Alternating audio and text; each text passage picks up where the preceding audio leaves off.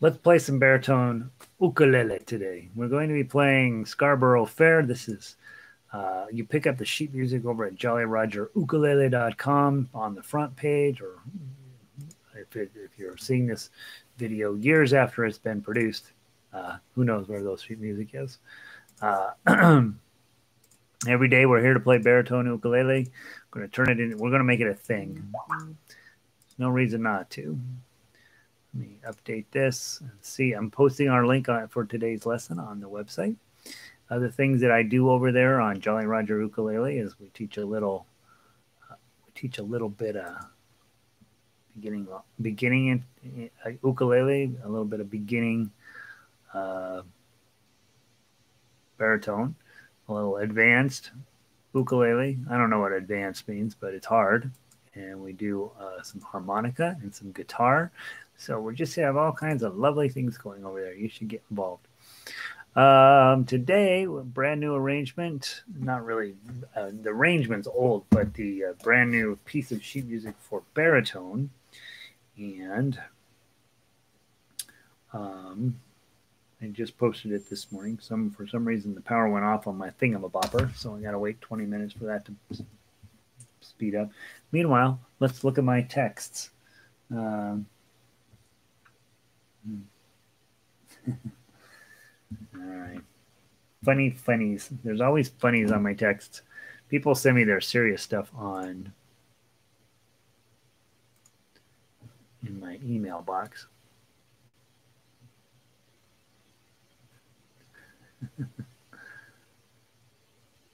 uh, well, see, I, I, don't know if you guys have ever go to the front page of Yahoo, but on the front page of Yahoo, at the top there's what news you need to know and honestly it's pretty good like you usually do need to know that stuff and uh, uh, it's always rather entertaining what is going on in our country these days not it's scary entertaining uh, but uh, uh,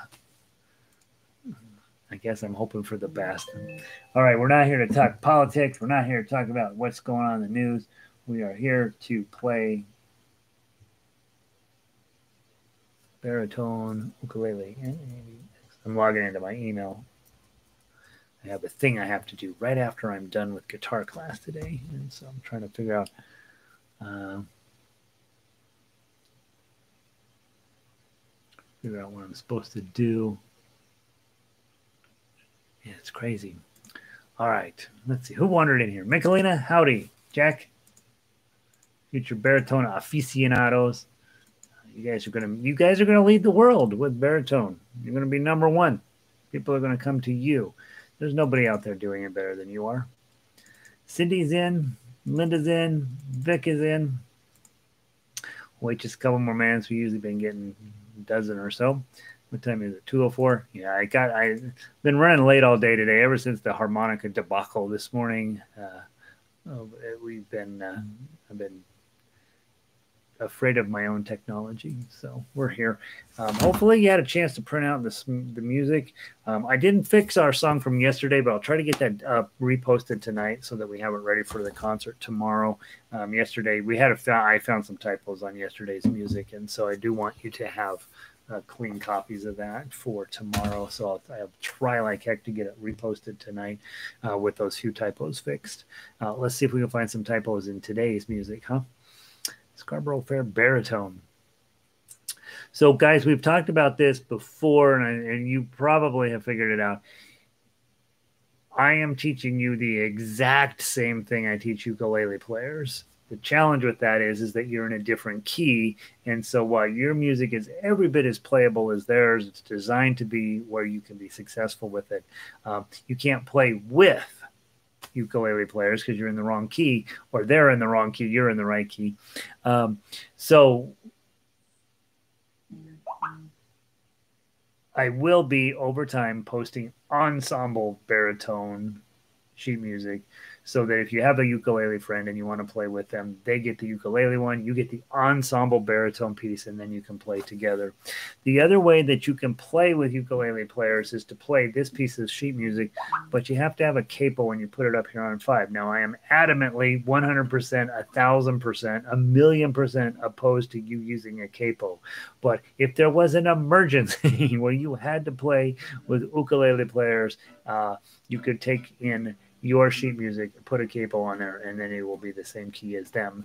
Um, and of course, that would only apply to music you're you've gotten from me anyway. So, um, so just know your your uh, there's a ukulele on your baritone ukulele if you capo at five. But but honestly, I'm just I don't think re- using and relying on capos is a good idea for you. Um, it will be much better for us to just teach you how to play and to give you sheet music that changes depending on your situation. So uh, let's see. Um, who, who did I miss? Diane made it in. Ray, uh, download Scarborough Fair. What is this? Couldn't download the Scarborough Fair. Wouldn't download for you. Let me go check. It's kicking open for me. Um, shucks. I don't know why I wouldn't download for you, boss. Um, yeah, Ray, go go try. It is working. Um, not sure why it's not opening for you. It's opening fine for me. So maybe just a temporary glitch. I don't know. Uh, what's the significance of liking on a YouTube site? So YouTube has this, you know, that your big thing in YouTube is you want to get where they will give you a little bit of a payment, right? And um, you have to have so many watch hours and so many subscribers and then so so that gets you into the hey we will give you a little bit money to keep producing content um, and I think, uh, according to what I read, it is a little bit of money, um, but people want to get there. And so once you get to, they call it monetization. Once you get to the monetization level, then that's the kind of you, you, videos that you see making it onto the front page of YouTube. And once you're on the front page of YouTube, then your subscribers go way up, and people, you know, you end up in this sort of mainstream of you YouTubery. Um, one of the ways to get pushed toward the front page once you've been monetized is to have people like your video. So, in other words, if you have a thousand subscribers and two of them you like your video, it's way less likely for them to push that um, in any meaningful way versus if, if 50 people like it or if 100 people like it. And so, so likes are important. I don't quite understand the matrix, but I do know once you're at monetization level, you want to have people liking your videos so that um, they're more likely to push you. You know, like when you watch a video and then after that a bunch pops up, would you like to watch these ones? And there's all these choices. Um, you're more likely to get into that list if you are well liked and you have a lot of people and all of that stuff. Um, with my site, I don't have that many people coming to it, but you guys that do come to it watch a lot of time. So you're you'll you're often here for 40 minutes or something. So I have no problem covering the time watched issue. It's getting enough people that are interested in what we're doing. Uh, so far, I have not been super successful with that, but I have not also not spent the money necessary to advertise to get people here. Um, and so there's you know, I'm weighing whether I even want to do that, to be honest. Um, but so the like, the, the short answer to your question, Cindy, is we like videos, um, and that helps the person's channel be more likely to get to a greater audience. That's what the liking does. The more people, like I have to get a thousand subscribers before I can even monetize. Once I get there, then I, I got no problem with the watch hour part of that component. But like a lot of people will get subscribers, but people don't hang around on their channel, and so they don't get monetized either. You know, if you're if you're super cute and funny, um, but you only put on little little short videos, uh, people don't watch long enough for you to become something. So you'll notice um, the people like in ukulele that are popular are always pretty. Uh, they almost always do some fairly lengthy videos. They do regular and ongoing videos so that you keep coming back to their channel uh, and keep watching. And so that's that's how you get to be famous. Uh, you you gotta you gotta look better than this probably, um, and be 20 and all of that stuff. So Yeah. Uh, excellent ensemble baritone. Yeah, so that way, um, so so you'll have both sets of papers. The solo baritone stuff, that's what you guys are working on here, um, and then once you get your skill set in place, then you will say, "Oh, I'm going to play with a bunch of ukulele players. I'm going to grab the ensemble sheet." Um, and it's also for teachers. Sometimes I'll get a class and they will have uh, somebody will be in a baritone, and I'm like, "Oh, brother, I got to give them a ukulele while they're in class." Uh, um, and this way they could just play with us right off the bat. Okay, Terry Michelina took a minute to load from you, but it worked. Okay, got it. Okay. Um, is it possible to remove a prior comment um, on this chat? I think you can. You just did. It looks like. um, Arlo's in. Cozy's in. Okay, that's everybody. We got enough people. Uh, so anyway, that's the story. That's what I know about YouTube. Um, it would sure be nice to be famous, but uh, but uh, it's probably not going to happen. So I don't worry about it too much. Scarborough Fair, um, guys, this is an amazing piece of music for baritone. I love it. I love it in any event, but it is really really lovely, and it's unfortunately it's a tiny bit hard to play. So those of you guys that are um, been around a while. Baritone's a thing. Ukulele's a thing. You've got music in your background. All this stuff is making sense to you. This is not going to be a terribly difficult song. Those of you who are newer, who either don't have music in your background or maybe this is your first instrument that you've really tackled, uh, this is kind of a hard piece to play. And so, what you're really assessing as you were working on this is hey, do I know what I'm supposed to do? And can I figure that out? If I know what I'm supposed to do, you're about where I want you to be whether you can do it or not is a whole nother issue. And so we're going to walk through it in all three ways that we would typically play. And then we'll talk a little bit about your future in baritone and my plans for you guys as baritone players going into the fall. Um, today's the first day of October. Okay, so it's, it's officially, it's legitimately time to get dialed in for the end for for winter to come. Uh, uh, unless, of course, you're living in the southern hemisphere, and then spring's on the way your main chords, D minor. This is a chord you want to have in your quiver. This is going to come up a lot as a baritone player. It's beautiful. Listen to that. Okay. Are you going to, and then go to your C chord, Scarborough, and then come right back. Notice that that motion there, the D, D minor motion and the C chord are the exact same shape. You just got to change the string. So don't get all wild between them. Are you going to Scarborough Fair? Okay, that's it. Okay, now you've got your F chord here, and we've already had a talk with you guys that you are bar chord heavy. Everything you do is going to be involving bar chords in one way or another with this instrument, and we don't complain.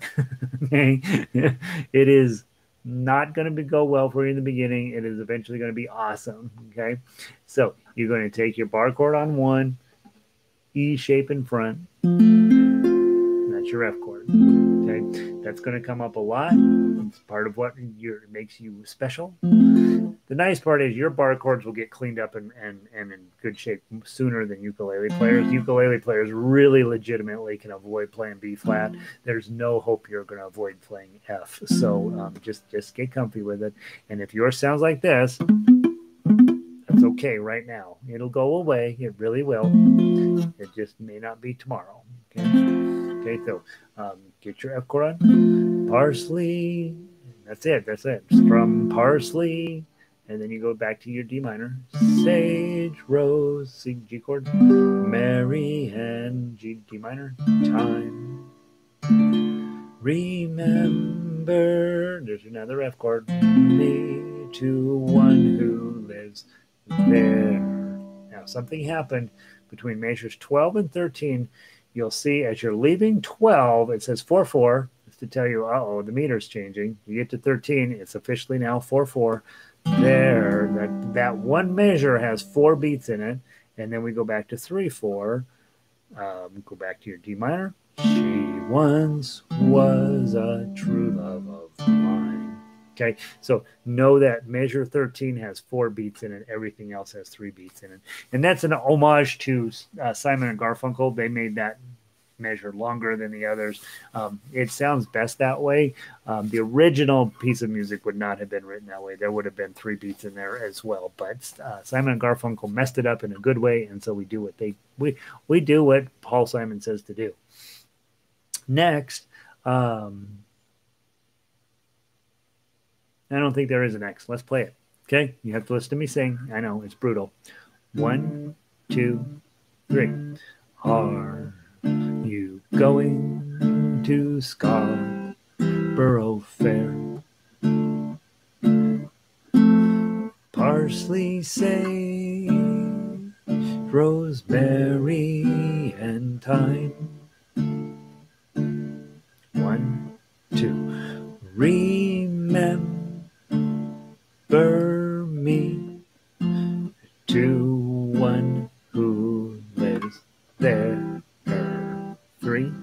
four. She once was a true love of mine. Two, three. Back to the top. Tell her to make me a cambric shirt. Two, three. No, I missed the F chord, sorry. F. Parsley, sage,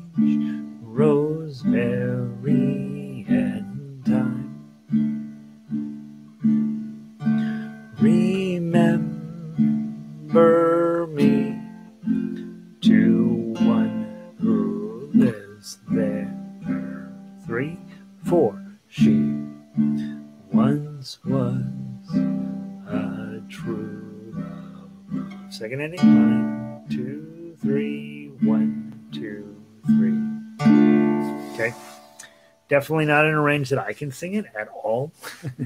um, but you got the idea. The chords there, that F chord does sneak up on you um, in both times that it shows up. So just be aware that it's going to happen. And um, uh, this is a piece of music you could practice on for quite a while. It's always going to be a great song. So there's no reason to um, not get good at it.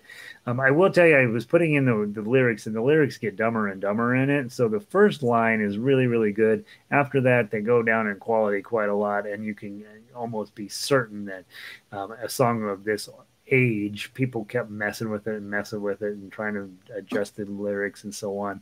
And what I what is or what we has been passed down to us is the official lyrics. I feel very confident are not the official lyrics, um, but uh, we know it from Simon and Garfunkel that first man first line, and so stick with that one. That's pretty good. The others are not so good. Let's play the melody. And those of you guys that are newer, this is your this is your wheelhouse. Being able to play melody on even the toughest songs, that's what's something that I think is very exciting. Once you've been through this whole program, hopefully you can just play melody and yeah, you're not going to hit them perfect every time, but that's what I want you to be able to do. There's nothing more important than that. Um, and if we can get the well, the rhythm's probably more important than that, but it's pretty high up on the list of things that I want you to be able to just knock out and not lose your mind over. Um, the first part of this song is in first position, all the way down um, through um, measure four. Going to play in first position. At measure five, you're going to need to move up to fifth position because you're going to be playing this 10, and that's a long way away, right? So you're going to have to um, stretch your hand a little bit to get to your tens. All right, from the top, start in first position. One, two, three. Three, three,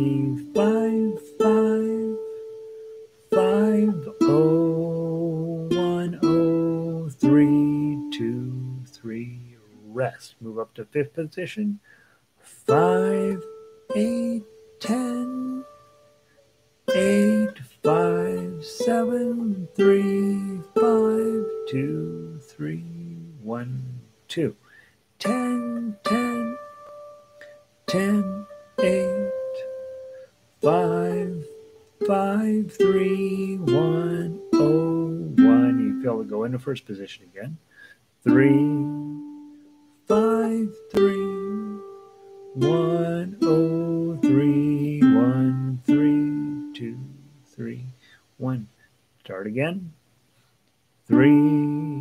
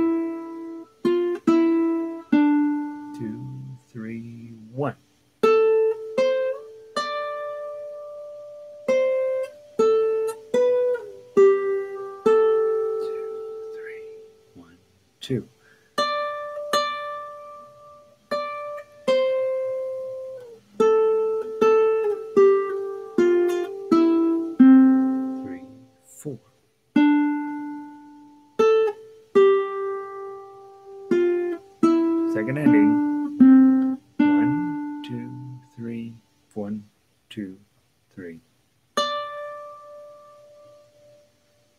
Nice, right? Do you know if this is the same key that Simon Garfunkel did it again? I don't know that. I don't know that. I doubt it. I doubt it. It's very rare when um, when we're working on instrumental work exclusively you have a choice. And this is what you see on youtube all the time. You can either play it in a, the position that works best on the instrument or you can play it in the original key of whatever the band wanted it to be played in. And most of the time i could care less what the band played it in because i don't have a band and i'm not that band in particular. And so i'm looking for the way that it fits onto this instrument the best. And so in your head it may sound like if you if you are in love with this and you've heard it from Simon Garfunkel 500 times, and then you come to this and you're like, it doesn't sound quite right. Um, I had run into that with Beatles tunes all the time that I adjust whatever key it's in to make it playable on a ukulele, and people come and they say there's something not right about that. Well, it's because the key has been changed and they don't. They, they're so used to hearing it in one manner that it's hard to hear it in the new manner. What I do know is if you play through this a few times, you will not have a problem afterwards. But initially, you're like, something seems off. So I don't know what the original key that Simon and Garfunkel did it in. Um, I do know it fits onto the ukulele quite lovely in this key. Um, so there's that. When on YouTube, you'll see guys using capos to get it to the exact same key as the original band, and um, again, that's really meant for singers uh, to capo up and then do it exactly the way the band did it. Hotel California is a perfect example of that. On that one, you need four guitar players, and they and with capos on seven. Um, and I recently wrote it out for our group, and um, I don't let them use capos, and so it was it was actually quite a bit harder because I wanted to keep it in that original key because our ear is so set for that, and it was just it was a, a lot more work than it needed to be because I don't want to use capos. Um, it sounds beautiful. It was just hard to sing along with it, and I was wondering if that was why. Probably, probably. You're you, you I can't sing in this this one in this key. Um, on uh, ukulele, it's in G minor, and I can sing it a little better. Um, and so, as we talk about when as those of you guys that are singers, you probably will use a capo. You play this exact thing, but you you capo it to a until it, it find your voice finds its place. Um, and so, if you are a singer, you may end up using capos. Uh, or you could just learn to play the instrument and do both, and uh, then this becomes your capo. So, um, but yeah, Michelina, I could imagine that sometimes uh, when you approach a piece and it's not fitting, you know, you're used to singing it to the radio or whatever, and then all of a sudden it's not fitting your voice, probably because the key got changed. All right, let's put it all together. Start with your D D minor chord. Uh, let's walk through everything and then we'll play it. Okay, so uh, nice straight down, zero, two, three. Hit the three again. This is a tough stretch for baritone players, guys. You got to get your pinky up on five while holding the chord. The five again. And you get that nice transition to C chord. Just move it up and lose your pinky. Roll your pinky down to get the one and then put it back. And then D minor. A couple of decorative notes here. Two, three. You got to grab your F chord. You can grab a partial bar in the F or a full bar in the F, whichever you whichever you're working on. Okay, strum that. Pretty? That's a really cool chord. And then you're gonna go grab five, eight. When you grab this 10, just use a partial bar. grab all three tens at once. You can leave this note open. It's going to be sound fine because you're going to get with a low D and then a high D minor. Um, it's going to sound cool. Strum that. Grab your eight. Strum your five. Strum your seven. Strum your three. Go back into your G mi D minor. Pinky up on five. Hit the two and the three. Lose your pinky and play a regular D minor. Go abandon that. Go all the way up and grab your full ten again. Hit the ten again. Hardest point in the song here, um, and I gave you a little chord chart right below it so you know what's going on. You're going to put a bar on five. You're going to put the uh, C shape in front of it, bar on five, C shape in front of it. And then with this one, you got to also get the eight. So your pinky's got to be on eight. So this is actually what you're going to be holding. Bar on five, middle on six, ring on seven, pinky on eight. That's a tough moment. Okay. And when you're playing this song, your whole thought is, I got to make that moment right. And everything else is pretty easy. Not pretty easy. Everything else is hard, but this is really hard. Okay. Play that. Then lose your pinky, hit the five, and then strum it. Then go ahead and grab your three, one, and then measure 13, C chord.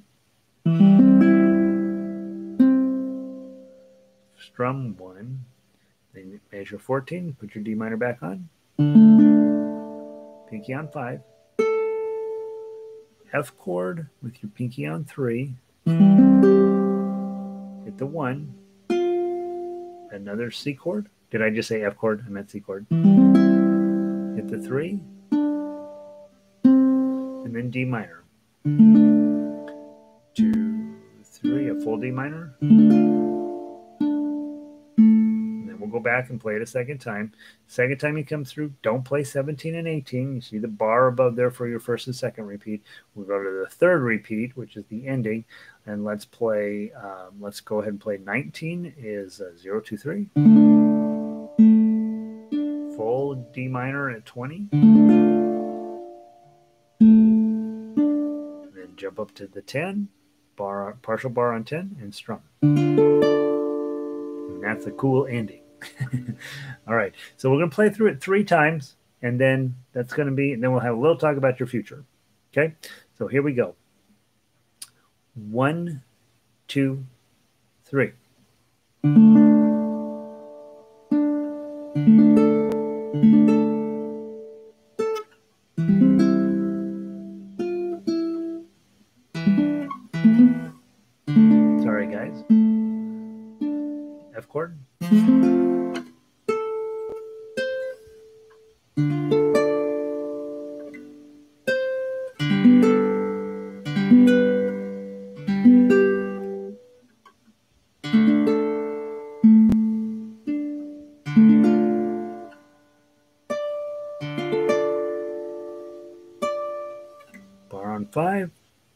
C shape in front, pinky on eight.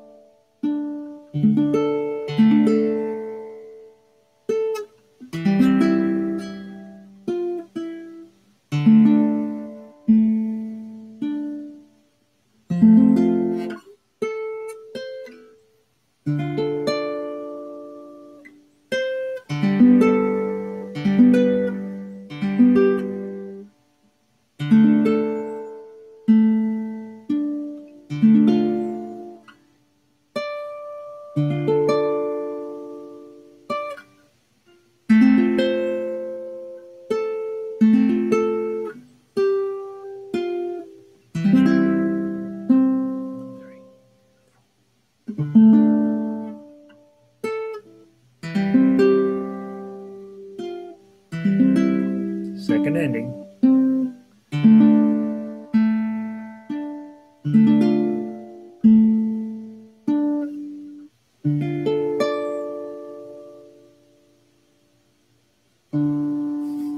I always edit the D. How about that? That's a good song, right? That works.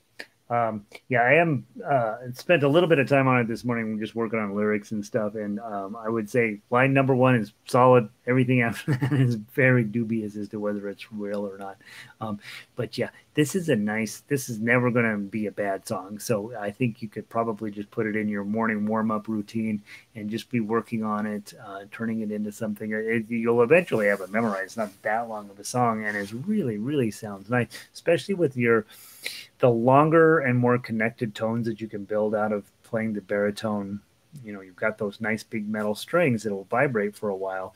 And so let those kind of pull you through and let you let those um, um, as much as possible let those ring as long as you can before making your next move. And um, because it's in the key of uh, d d minor in this case you got a lot of times where your top string is open and just ringing along, just helping you through those sections, and it's really quite lovely. I think, um, you know, basically, if you look at uh, this measure six through ten, you can keep that D that D string just ringing along, happy as a clam, all the way through there, and it, it kind of helps. It's like putting caulk and paint on something. You know, you, everything looks sort of a mess until uh, when you're doing construction and everything doesn't quite look quite right. And then you come in, the guy runs a bunch of caulk over everything, and then we paint it up, and then everything looks like perfect, you know. And you're like, oh, that's that's what that's what having those nice long chords or nice long notes covering up some of your